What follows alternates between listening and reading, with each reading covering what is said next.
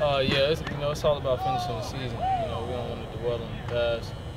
Um, we, we still have five more games left, you know, and uh, every team is beatable. So, you know, we just take it week by week and uh, game by game. You know, we could we could finish out a good season. You're a member of the leadership council. What um, has there been something that you've continued to tell your teammates this week going into this game? Uh, yeah, just keep up the energy. You know, during practice.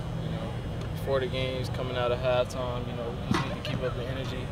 And, you know, uh, stay ready to play out there, and you know that'll lead to making plays. So that's what we need to do. When you kind of, he gave you an idea of the opponents you played at the beginning of the season and the opponents, you know, the record difference between the two. Um, were you still a little bit surprised to hear how much of a difference it was between those two records? How much of a stark contrast it is?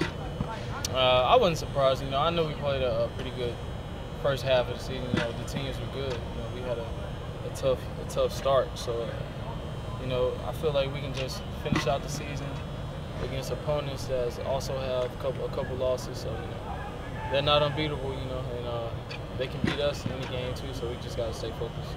You guys did beat each one of these remaining five opponents. Does that add maybe some confidence going into this stretch here?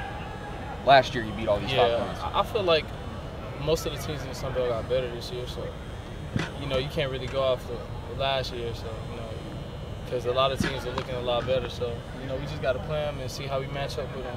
Hopefully we can win these straight five. Finally, I guess it seems like just numbers wise for you, um, since the start of conference play, you kind of have, you know, the numbers have picked up. Has that been anything to that, or just, you know, kind of the way the season rolls?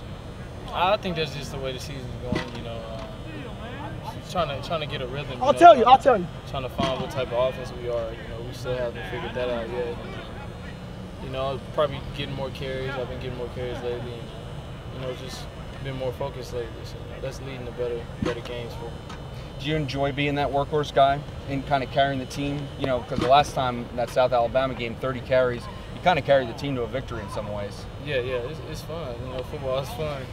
You know, getting the ball a lot is fun. You know, that's what everybody want to play football for, especially on offense. So you know, I enjoy it. And, uh, I just try to, you know, maximize my opportunities. You know, every time I get the ball, you know, I try to do whatever I can.